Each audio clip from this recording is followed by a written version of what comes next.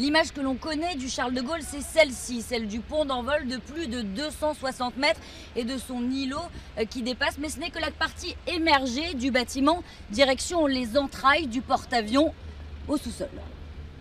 Après l'appontage, il faut s'assurer que chaque rafale est opérationnelle pour repartir. Pour la maintenance, c'est dans ce hangar euh, que ça se déroule. Commandant, bonjour, expliquez-nous.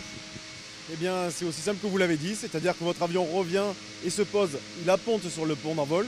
S'il n'a pas de panne, il peut repartir pour une mission. Et si effectivement il a une panne ou un entretien, nous le descendons dans le hangar pour assurer la maintenance.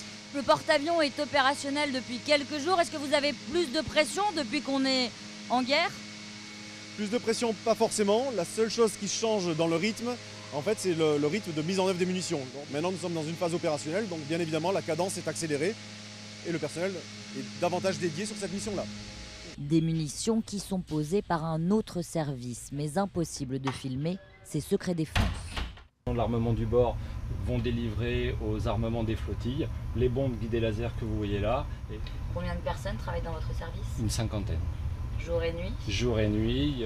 Dernière étape pour ces rafales, le catapultage, une opération possible sur ce pont d'envol toutes les 30 secondes, direction l'Irak avec notamment Mossoul, mais aussi la Syrie pour d'éventuelles frappes ou des missions de renseignement.